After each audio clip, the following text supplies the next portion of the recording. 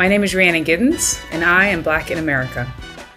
Hello, everybody, and welcome back to another episode of Black in America. Today, I have the distinct pleasure of interviewing a wonderful, phenomenal artist that has a very fascinating background and a name that sometimes people mispronounce. Unless you ask her, How do you say this? And she says it's Rhiannon, like Shannon. And I have this wonderful, amazing artist with me today. Rhiannon, how are you doing, my friend? I'm, you know, I'm doing pandemic okay. Like, you know, it's like you never know never know what to answer. But it's it's kind of like, you know, not bad, but not exactly where I want to be. But you know, life is good for the most part. So listen, listen, I love that. I've never had that answer before yet. Today, pandemic okay. You know, I'm pandemic okay. That's exactly right. We're doing the best with what we have and thankful mm-hmm. for what still remains. You know, exactly, exactly, exactly. Well. Again, welcome to this episode of Black in America. Very excited to have you. And we just want to, again, have a conversation, getting to know you, learning about your experience of being Black in America. So I start this session off in every interview, and I ask this one question, open ended question that I really want uh, you to kind of focus on too. Talk to us about what does it mean for you and what did it mean for you growing up Black in America? Um, it was confusing. It was very confusing for me because I'm I'm mixed, you know, so there's already a dual thing going on. Um, I have white family, I have black family. Um, so on the one hand, I know that I'm mixed because like I see the my dad and my my my grandparents and my my cousins. But on the other hand, you know, I'm I know that I'm considered black because of the history of race in, in our country. But on the other hand, to the black community, I'm not quite there, you know, mm. because I also just have very ambiguous features in terms of, you know, I mm. got asked a lot, what was I? I don't really look like a traditional mix, if you know what I mean. Like, and just it all it all was very confusing. And then of course to the white people i was obviously other. Um, and so i didn't really know where i where i fit in. I didn't understand any of these things. And so my my growing up period was very i just every time i looked in the mirror i was i was asking myself the question everybody else was asking me which is what am i? You know? Wow. and wow. I, am in north carolina. Hmm? Which side? No, I'm just saying. Which side of your family was black or, and white? Your mother, your father. So my mom, my mom's side is black and also white and also native. You know, kind of a typical mutt sort of southern mix. You know. yes, yes, yes. And then my dad's side was white and like everybody working class. You know what I mean? So everybody, everybody rural based. My parents met in a small city at a university, hippies. You know that kind of thing. Three years, three years after it was legal. You know that kind of stuff. And so it was just like me growing up, I was like, yeah, I was confused a lot. And it, mm, really the music, and I'm sure we'll get into this, but it was my discovery of the music of North Carolina and sort of what became my life's mission is what helped me figure out my identity. Oh wow, let's let's go there right now. Say more about that. How because you were you grew up in North Carolina, the South, is that what I'm gathering? Okay. So talk to me about that scene because you're right very different than growing up in the Northeast or uh, Midwest, right? At, during that time. So, talk to me about how music was that influence and helped you through that process. well, it's so interesting because, like, you know, I'm in the Piedmont, right? So, Greensboro and the surrounding kind of rural area, like, I spent the first part of my life in the country with my grandparents. And then, you know, I was always kind of going back and forth. And Greensboro is actually a, a, quite a diverse city. There's a, there's a lot of Black people, there's a lot of brown people and then there's you know obviously there's white people. And so i kind of got used to that mix and then i was also getting like bluegrass music you know from my dad's side of the family but then also my black grandmother was watching hee haw every saturday night. You know what i mean? Like all these kind of mixed signals like according to you know contrasting to what the the narrative was, which was, yeah. this, you know, these kind of people listen to this and these kind of people listen to this. Yes. I was yes. growing up with these kind of mixed signals, which I come to realize later are the truth. Yes. yes. Right. Yes. So I, I kind of just had that sort of always in the background. And then, you know, I went off to school and I studied opera, kind of ran away from all of it, you know, mm and, and got immersed into the, you know, Western art music. But then when I came back to North Carolina, you know, and I discovered like old time music. I discovered like the music that like bluegrass and and the 60s folk movement stuff was based on, which is that root yeah. stuff. Like we're talking yeah. way back, right? And I discovered the banjo and I was like, I only heard like bluegrass style banjo. And I heard this old claw hammer, like funky yeah thing. And I was like, what is that? And then, you know, I got all into it. And then I realized, you know, through various, you know, modes that it was an African American instrument. I was like, what? Mm. Mm. And that was it. Like the the that you know you, you look back in your life and you go, we're at a crossroads. Mm-hmm. Right. That was mm-hmm. a crossroads for me. I was kind of barreling this way, and then I hit that, and I was like, I'm going this way, because you know, finding out it had been a black instrument for you know a couple hundred years, like a long time, right? Finding that out, I went like, okay, so how do I not know this? And then it very quickly became why. Yeah. Don't we yeah. know this? And that's when I kind of really started getting into the vast sort of, I mean, you don't want to say conspiracy, but it really was a concerted effort yes. to falsify the cultural narrative of our music, you know? Yeah. And in, dis- in discovering, you know, that, I also discovered uh, Joe Thompson, who was like an elder from the black community who was still playing this music. Mm. Like, he like grew up in a family band, the Thompson family band. He was a fiddle player and he mm-hmm. was living in my family's hometown of Mebane. Like my mom's side was from Mebane. I used to go down there for family reunions every year. Didn't know this guy was there until I was, you know, a lot older. And he's in his 80s. He's 83. And he played, he, his daddy played fiddle. Like, you can trace his musical lineage back to slavery. Like, it has been done. Like, uh, you know, the scholarship has been done. And I apprent basically me and the other original members of my first band, the Carolina Chocolate Drops, apprenticed with him. And we mm. would go and we sit in his living room and we would play his music and like learn his family tradition. And it was like to have an elder from the black mm. community as close to my family as you could possibly get without being in his family. And we have people in our family tree that are, you know, we were all related, you know? Yes. Yes. And it was like to have that experience like changed my whole life. Like it, it just it, it brought meaning to what I was doing as a musician and it brought me, oh, I know who I am. Okay. Right? Because like the Thompson family band, they play for the white dances, they play for the black dances. This was just music. Mm. Right? Mm. And so as I saw it in the music, I was like, actually, this is regional right? Mm. Music is regional and it's like these people are playing it and then these people are playing it. And there's different groups that brought different things to the table, but once it gets mixed up, everybody's playing the same stuff. That's right. And, and it kind of got me into my my realization of, oh, I'm North Carolinian. That's what I am. Black, white, red, whatever is up here. Yeah. I'm right. My experience is North Carolina, and North Carolina is a Creole experience you know? And so i saw it in the music first and it helped me accept kind of you know or find what that meant for me like as a person. Yes yes that was really long. no that was listen that was brilliant. It, it helped you. The music mm-hmm. was a path and a guide that helped you settle into your identity is what i'm understanding you to say right? Exactly. Phenomenal and gave you the language and also the freedom to mm. feel and to express and to enjoy and engage all of these wonderful diverse sounds. And, and right it, it, gave you that permission to say that's north carolinian. That that's who you are. Yeah. we're all of this. Not this or that. It's this and that. Is that what i gather exactly. Yeah.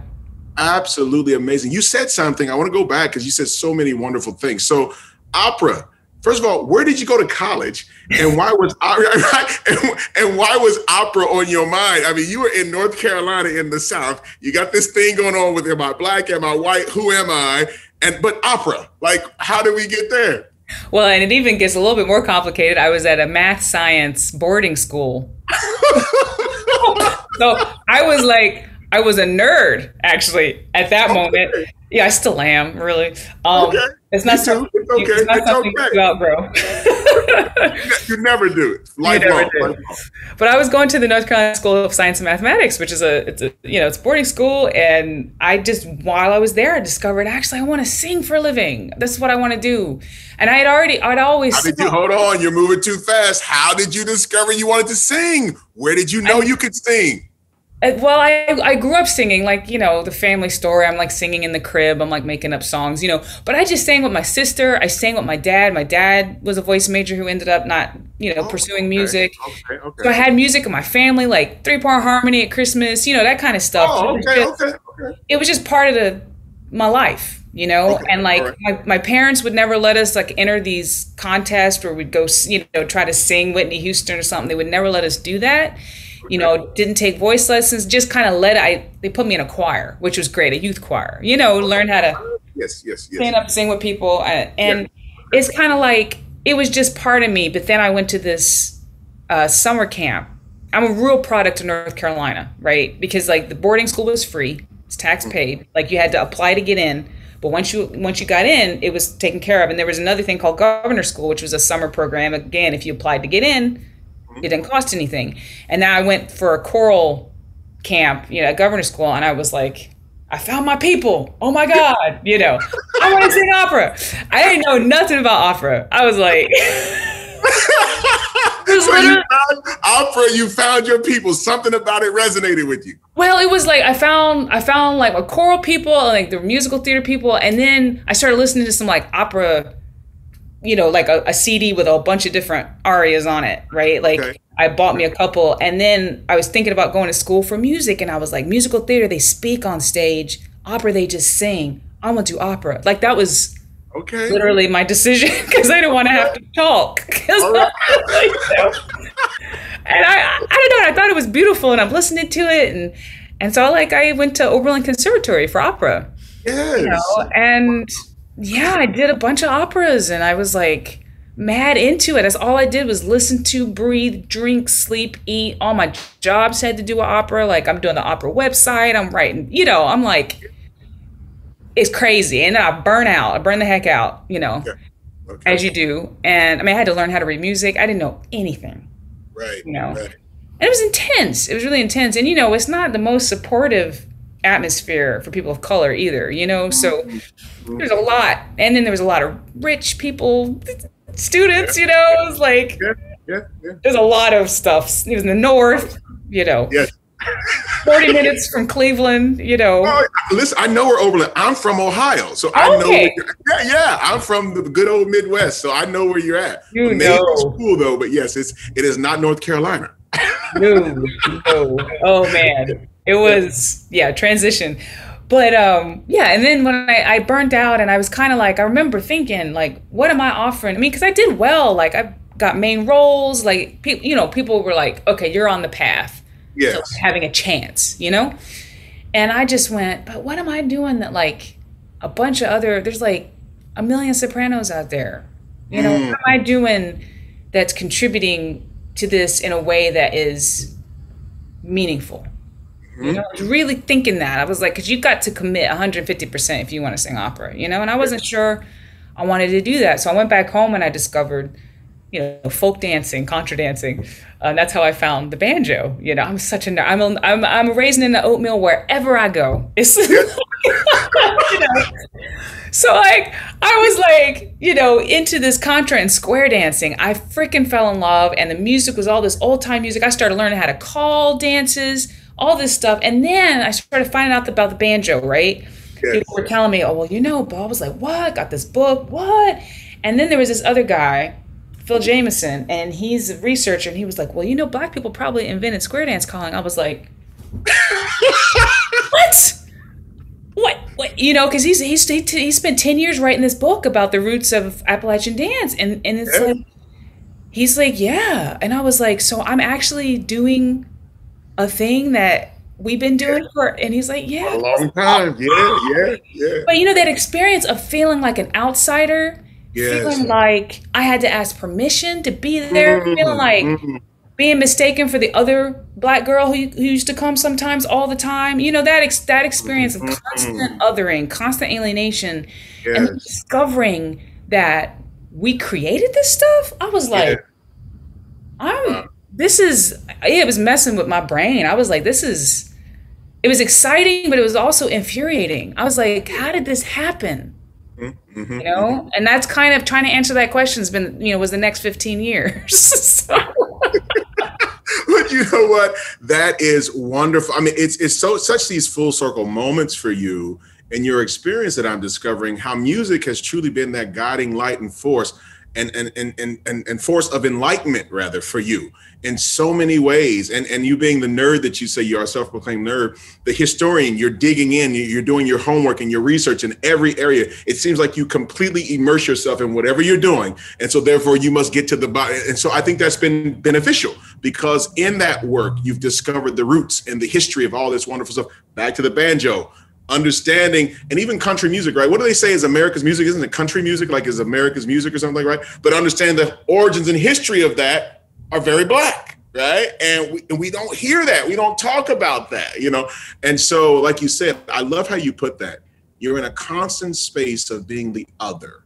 And there, and so that that to me is kind of what I'm gathering. You were confused and you felt as if you were always the other. And that was your experience growing up as black in America, right? And, and until you found music and or music found you, how we want to put it, but it put you on a path to self-discovery.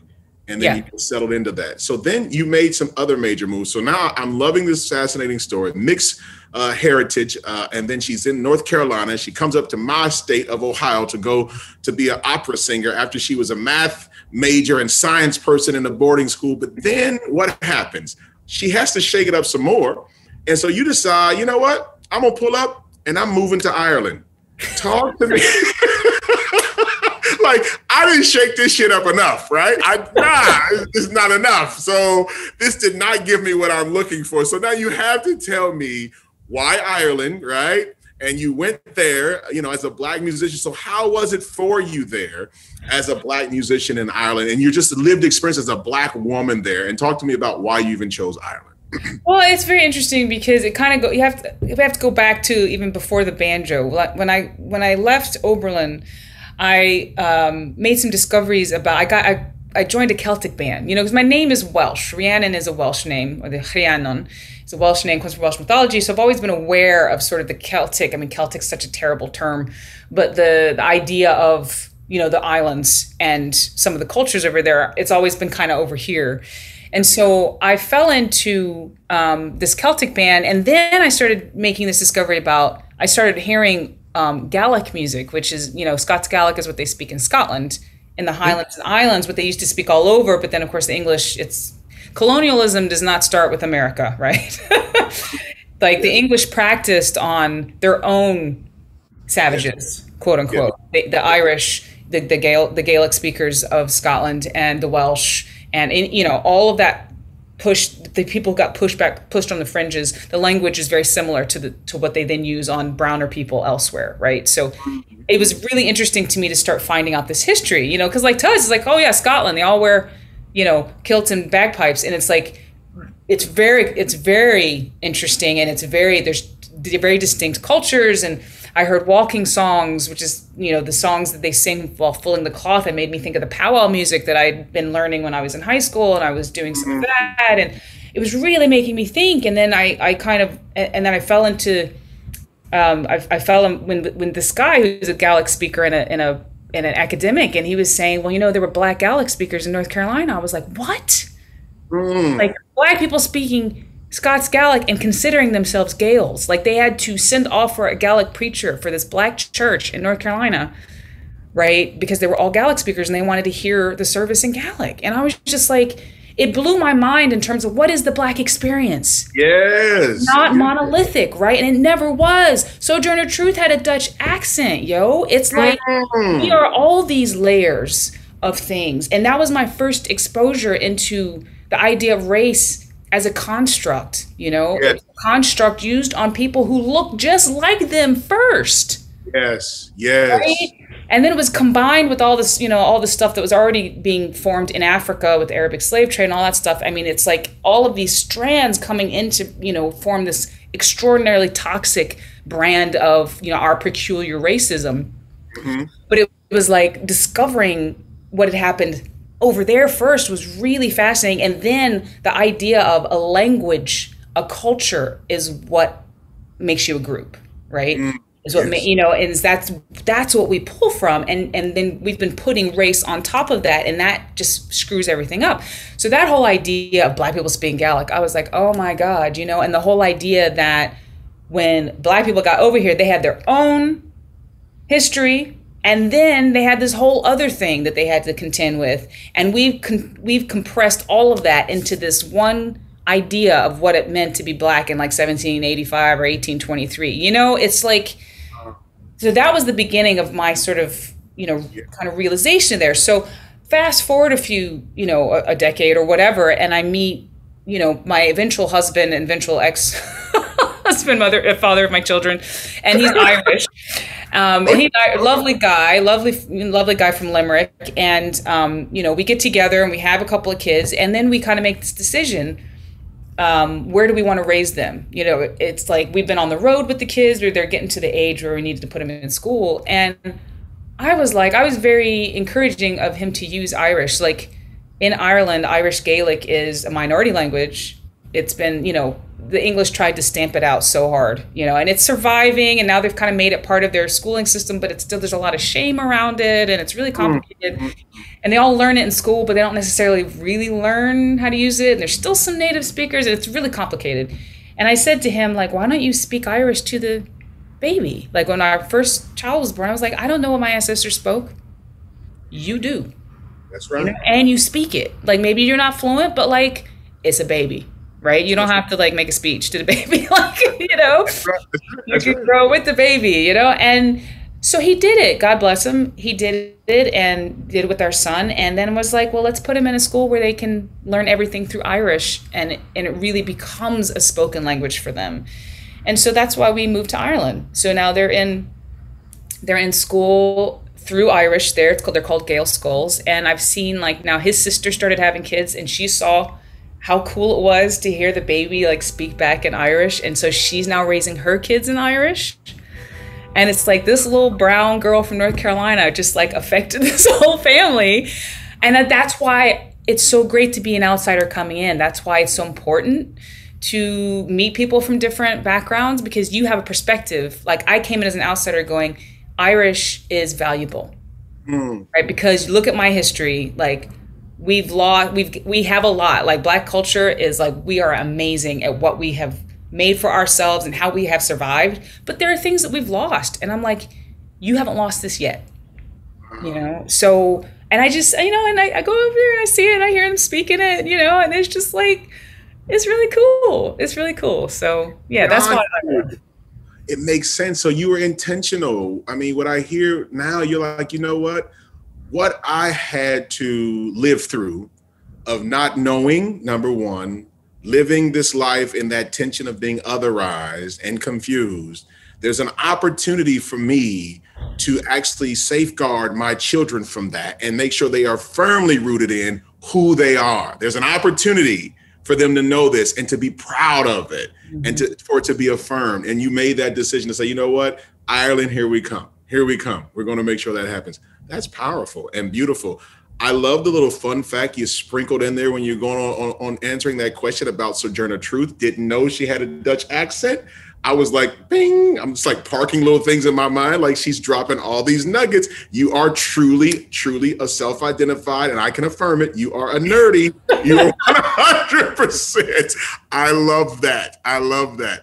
And so it was clear to me what's emerged in listening to you that your love for music, right? This beautiful, diverse set of music, country, blues, folk music, clearly that was developed in that North Carolina space where you grew up at. And that was all cooked there. And you were trying to understand, and it was guiding you and forming you and fashioning you, right? And so to your playlist that we that you curated, let me jump into that for a moment. You chose to showcase Memphis Minnie's if you see my rooster last year on the Blue Show with uh now I'm gonna uh, the last name is Matthews. Who was pronounced the first name so I don't slaughter? You know, I'm all about getting these names right. Oh Lord, um, I think it's C E R Y S. It's a Welsh name, I believe. Um. Okay. Well, you know what? I don't feel so bad that at least I paused, and you're like, ah. So it's yeah. Cerys, but I, yeah. I'm not 100 percent sure because I it's been a while. Hey, it's cool, but yeah. So that's fine. But uh, Miss Nat Matthews, how do you navigate, you know, uh, continuing her legacy in blues music as a black woman? And then what is that song? How did that make the list? Why did that make the list, rather? And what's it mean to you? Well, Memphis Minnie is she's somebody who's not as well known as she should be. Okay. You know, uh, women instrumentalists in general don't get don't get the play they should. You know, mm-hmm. um, when you look at somebody like Sister Rosetta Tharpe, who was like Yes. a genius. no, she came straight out of the church too. You could tell she was churched. Oh my gosh. Oh yeah, read her read her biography. Really interesting. Um yeah. But but it's like she was so influential. She was like yeah. so famous in her time and you go Right. What happens to them? You know, why do they get it's, it's because who do we choose to hold up? Who do we choose to remember, right? right? We're always making our history as we go and and who we are talking about is not necessarily the people always people that we should be talking about. So anyway memphis minnie is just a cool I, she's just a cool cat man. And I, I, I picked her as an example because you know she's an instrumentalist.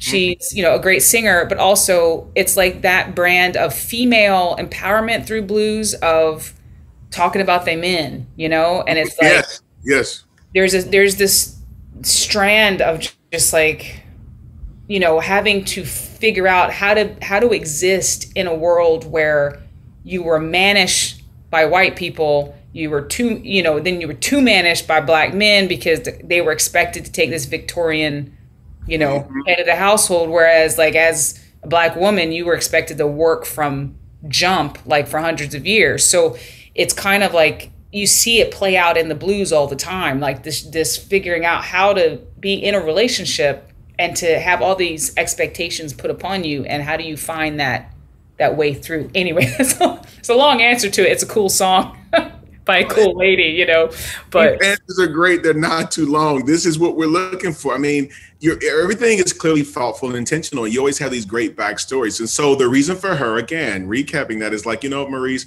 I want to shine some light on some of these, most of these women who have been artists and amazing that didn't get the proper shine that they deserve to have. And this is another example of that. Yeah. I, I, totally get it. And her story is fascinating. And I appreciate learning something about her and her music today. Um, then switching gears, you know, changing genres a little bit to a person I really admire her music and love, India.Arie. Oh. Uh, right? Shared the stage with you in American Songbook in 2017.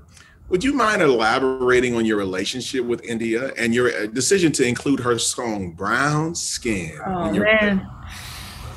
I, I wish I had a relationship with India. I mean, I wish I knew her. I'd love to work with her someday. I think that she, I loved her intentionality with what she's done with her career. Um, I love, I love that album so much. The whole record that Brown Skin's from, and I just love the celebration of us, you know, mm-hmm. the celebration of um, our uniqueness and kind of just lauding that and and just reveling in it. And it's like I don't really care if it's for you or if you you're listening to it, but like I know who's listening to it, and that's who I'm talking to, you know. And there's just kind of there's a sheer uh, unabashedness in that, which I just I was really taken by, you know, and I, you know, I love video um, on that, you know, just that whole idea of in an, in an industry. I mean, I, I was able to kind of get by without buying into the beauty industry because I'm a folk singer. So mm-hmm. I can be barefooted. I can be a little bit rougher on the edges. You know what I'm saying? And I have been quite a lot. But like she kind of took that bull by the horns in an industry where that's not easy you know r&b new soul whatever you want to call it like that stuff is enforced there and like so you know all of that was is one of the things that makes me really admire her and plus yeah. she's just banging like it um, playing the guitar, you know, singing. Uh, yeah, listen, man, doesn't she just make your soul feel good every time she approaches? It's just she is totally soul food. You know what I mean? Like everything about her warms your soul, affirms who you are as a person. She, it's a great big hug. She's wrapping love around you every time she hits the stage. I agree with you. Um, yeah, so powerful, powerful. And that song Brown Skin is one of my favorites too. Okay. You also highlighted some household names, you know, across, across genres in your playlist, such as Queen Latifah and Aretha Franklin with Unity and Dr. Feelgood, right? Love is serious business. Mm-hmm. How did you hear about the how did you hear about the success of black women in music? And how did that encourage you on your musical path? So I want you first to unpack why did you pick those folks, Queen Latifah and Aretha, and those songs, if, if, if, you you know if you could share a little bit about that. But how did that hearing about these black successful women encourage you on your musical path? yeah, it was really you know this playlist was really fun for me to put together because I didn't have I could just put what I wanted. Yeah. I mean, I always put what I want, but I'm always having an eye for you know, like the Memphis Minnies of the world, which is really kind of the eye for shining a light and yeah. educating. Whereas yeah. this was just like people that have affected me, you know, yeah. in my in my path. And so, you know, Queen Latifah was like the first rap record that I really I don't listen to a lot of rap. I have a hard I actually have a really hard time distinguishing words even when people are singing. So it's not a great genre for me because I'm literally one of those people looking at the liner notes. Going, "What is that? What what did they say?" you know, I hear the the tones and the music before I hear the words, you know, and then I sit with the words, and then it's like, and then it's complete for me. But she, I don't know, I really loved her again, her message of even in that song of like, we got to quit this separation, we got to quit fighting each other, and the, the idea of, um, you know, her strong, her strength and you know, it's it's kind of a it's a common thread, and you know, also with that song, I remember very very clearly. I was in high school and I had it playing in my room, and like two black girls who were on my hall. This was in my boarding class, my boarding school, came by and it's like just because you listen to Queen Latifah doesn't mean you black, and they just kept walking. And it's that kind of stuff that you know, well, you remember forever, and also I you know I've I've had to struggle with that most of my life, which is like not black enough for black people, obviously not white, and uh, other for white people, and it's just like, what do you want from me? You know, it's like I feel like I have fought for our history and our culture mm. my entire career, and yet there's so many. Anyway, I just like I I can't. It, it's it's frustrating, and that kind of represents that for me. It's just like I just like the song that's right. you know what I mean? That's right. Yeah, yeah. So, you know, that kind of represents that for me. And also, Aretha Franklin is just one of the best singers in the entire world, past and present. Spirit, right, right. You know, and her on that song in particular, she's playing that piano, which a lot of people don't give her the cred for the piano playing, right? This is a constant, this is a constant thread in not just women musicians, but black women musicians is that when they play an instrument, they don't get props for that. And I'm just like, she's a heck of a she was a heck of a piano player. But also again that taking taking the control in the bedroom, you know, that kind of like I just love that about us, you know, in in these genres of music and I found I just find so much beauty in that. I love that. So I am noticing a theme, right? So you have India.Arie, then you go to um, Queen Latifah, and then we have the powerful Aretha Franklin. And what I'm hearing too is what they spoke to you. They all were extremely talented, gifted women, but they were strong, unique, independent women. Like mm-hmm. you can tell they they lead their lives, right? And and take control of it and will not be put in a box. Queen Latifah clearly broke outside the box with what she was doing, right? Yeah. Uh, uh, India.Arie totally said, you know what, I'm going to approach this R&B from this standpoint, right? And she, you know, and broke outside the box. And Aretha to her to her own in her own way too, you know. So I, I see what you're saying. You really like that, and it resonated with you that self empowerment and seeing Black women leading their lives unapologetically the way they wanted to. Yeah. Right. Uh, and as and as you want to barefooted at times singing your folk music, you know, you wanted that they were feeding that liberation and that empowerment to just be yourself is what I'm gathering. It's really, it's really wonderful. Um, you said something about that story though. That is, that is I heard you, and, I, and, and that is something about being black in America, your school experience, and then walking by the dorm, and while you're playing Queen Latifah and saying, doesn't matter if you're playing her or not, you still won't be black.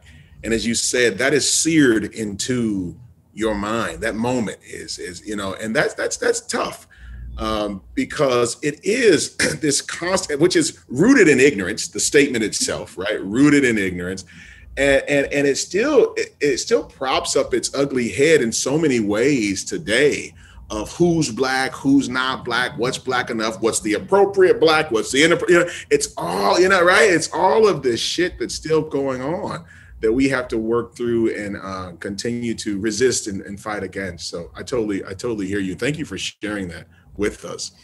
Um, Vera Ward, Vera Ward Hall's mm-hmm. Trouble So Hard bring us back to Black history throughout the centuries and the pain, suffering, and inequality we face and continue to fight. First of all, I want to know, in your opinion, why did she make this list? But what emotions does this song evoke for you when, when you listen to it?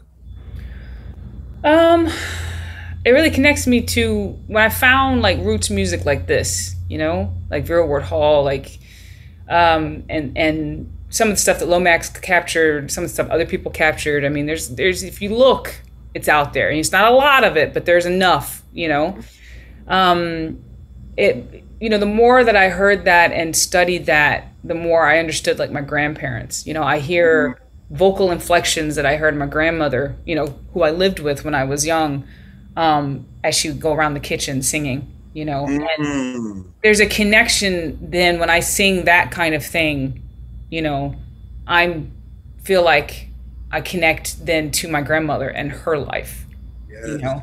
And so it's a very visceral thing. And I just think it's really important to not forget that. And also, the idea of domestic music making often gets forgotten. We always talk about the people who went and made a living, you know, who got on stage, you know, who are professional music makers, the Bessie Smiths, the, you know, the Sister Rosetta Tharpes, the Aretha Franklins. But there were so many women who made music in the home and mm. affected generations of people who then did go out. A lot of men who went out you know, mm. and were and became professional musicians, but they grew up hearing their mothers play the banjo, hearing their mothers sing, hearing their mothers play, you know, the guitar.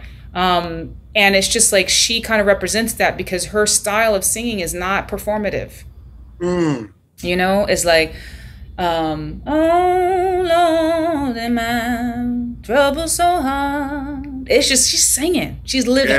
Yeah, yeah, yeah. I, get goosebumps when I do that. I did too like, when you did that. Yes, yes, yeah, you know, yeah. And, wow. and I just think that's an important piece to never forget. You know mm-hmm. that that is a huge portion of who we are.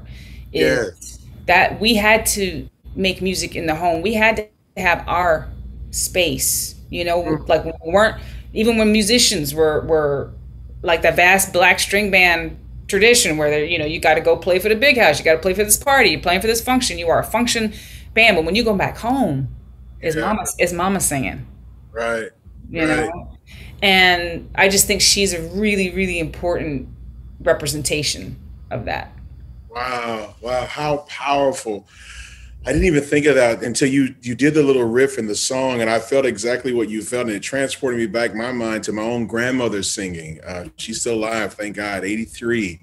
And you're right, it's that domestic singing that's so powerful and transformative and soothing. It, mm-hmm. it has so much distress and pain, but it also has strength and resilience in it.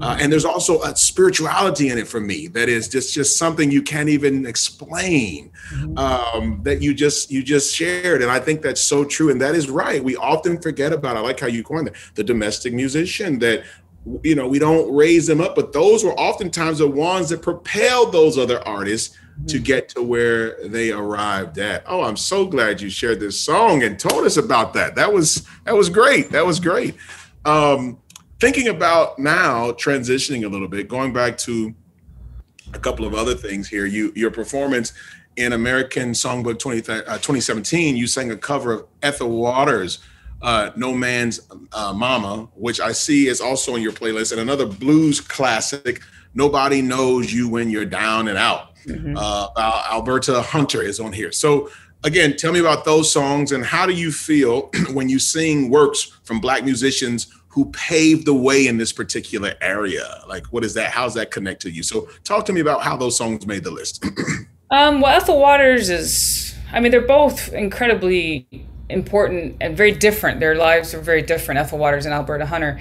Um, and I, you know, I read about these women. I want to know about their lives, and the more I learn about their lives, the more their music comes alive to me. You know, um, I mean, No Man's Mom is just a killer. It's a killer song. Uh, it's it's so great. But one of the ones of hers I didn't include because she didn't. She never recorded it.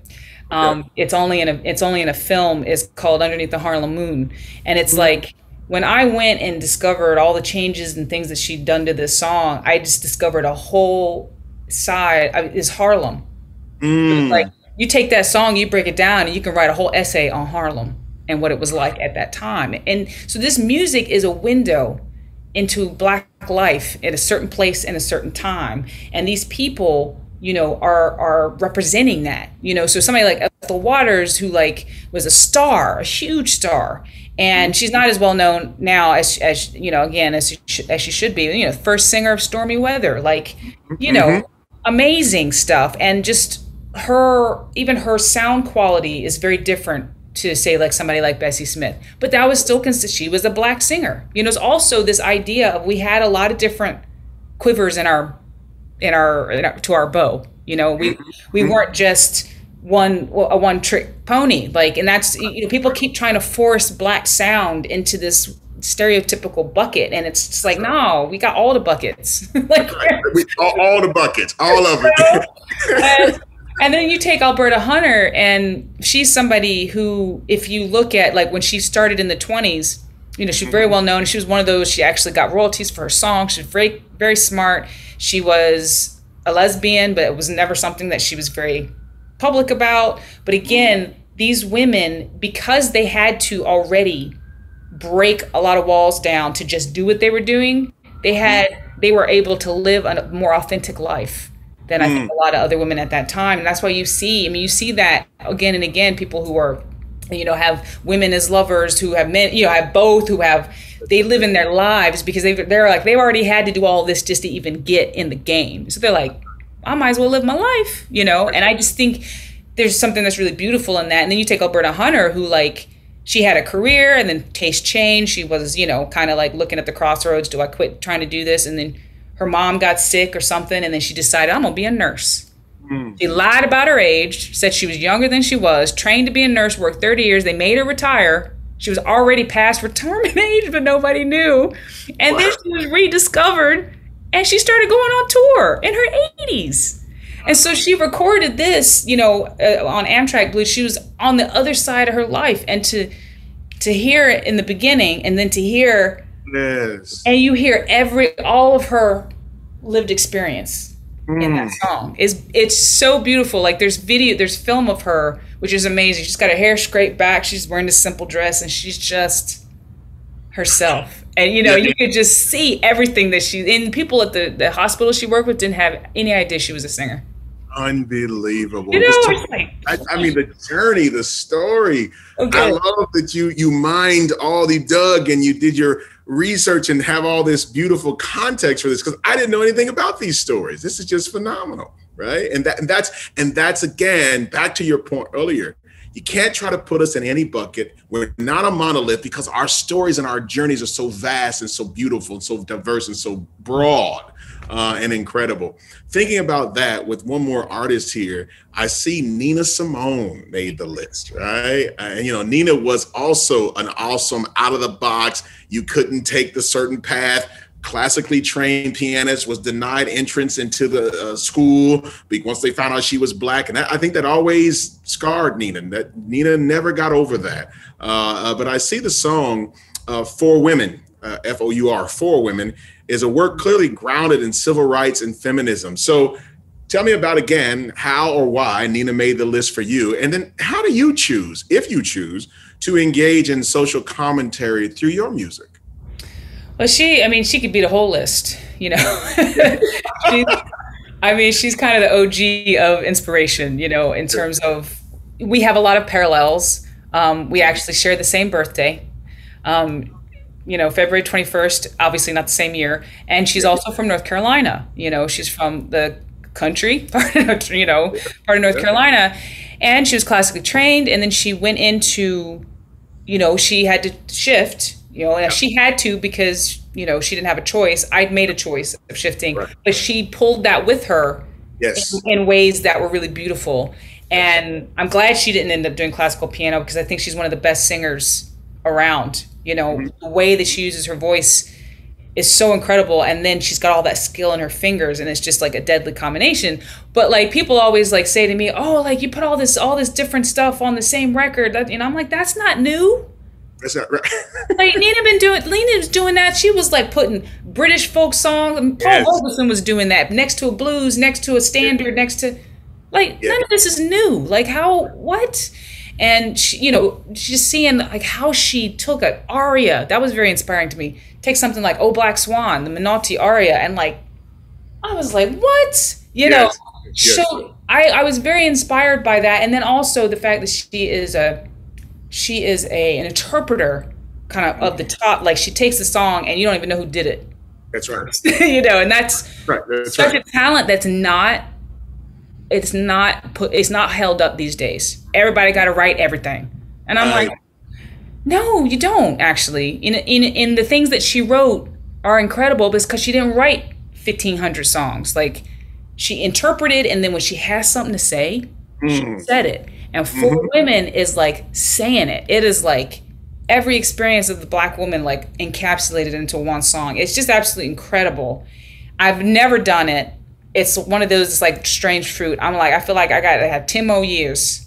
10 more years. Okay. You know, it's just like, I, I don't know if I'll ever feel like I have, I have the life experience to sing those songs, but she is inspiring to me in that I'm like, when I have something to say, I say it. So how I work that into my own music is when the voice wants to be heard, it comes out. And I just, I'm not trying to write a whole bunch of stuff. It's only when it's something important. And it's all come from slave narratives that I've read, you know, pieces of our history, like, you know, uh, uh, advertisements in the newspaper for people. That kind of stuff is what informs the songs that I write that mm-hmm. are, I guess you could part, you could call part of my activism is mm-hmm. giving a voice to the generations of black women who've had to do unbelievably difficult things mm-hmm. just make it through the day and mm-hmm.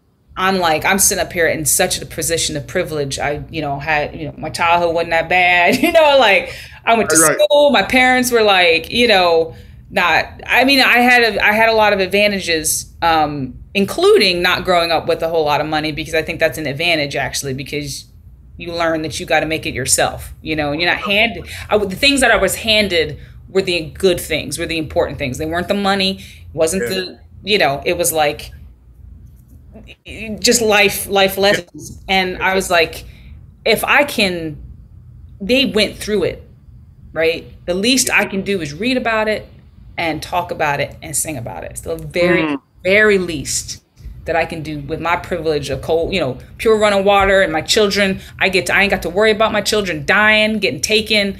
Yeah. You know, yes, it, yeah. yeah. So it's just kind of like I had this urge that I could not gainsay. Mm. You know, and so when the songs came out, they just came out. Yes. And you know, and then I wrote them, and and well, I, I kind of say I shepherded them into existence. I don't even like almost like don't like put my name on them, even though I got somebody's got to, I suppose. because you, it feels like it comes from somewhere else. It's bigger than you. I think that's what you're saying. Exactly. It's bigger than me, my own intellect, my own cap. I'm drawing on knowledge that I know not of. I'm drawing yes. on inspiration. I think that's what I'm gathering from that. Yep. Phenomenal. Exactly. Phenomenal. Well, listen, let me tell you something, Rhiannon. This was just amazing. I mean, you were co- just, I, I learned so much. I enjoy this. I'm sure our listeners will enjoy this, taking us down this historical path and journey with you and, and meshing that with your life story. Thank you. You are absolutely brilliant and talented and soulful and kind, and we're better because of you. So thank you for joining me today, and I mean that. I mean that. I, th- I learned so much. Thank you for joining me today. Thank you for your authenticity, for your transparency, and just for being kind. This was fun and informative, and I hope you enjoyed it as well. Do you Absolutely. have any final thoughts that you would like to share with folks about your experience of being Black in America? Um, just to say that you know we all have to come to terms with what it means to us about being Black in America, because everybody else gonna have an opinion. Mm. Black, white, red, whatever. Everybody else gonna have an opinion about what our experience is. Mm. I have learned that I have to be okay with what my experience of being black in America is. And that nobody can tell me what that is and what it isn't. And what I can listen to and what I can't listen to. Yes. Because I'm, you know, I got the OG black instrument. The banjo. you know, you can try to tell me it's not, but I know, you know. So know. for me, knowledge is power, and it's like the more that we know about what we have gone through as a people, yes, the more that we know about all the different levels and the layers and all of the complexities about what we've gone through as a people, the more that we can be accepting of everyone's experience of being black in America. Well said, my friend. Well said. Thank you. Thank you. Family, thank you for watching. I hope you enjoyed that episode as much as I did. Now remember to hit the follow or subscribe button to see every episode when they come out. Until next time, keep on trucking, baby.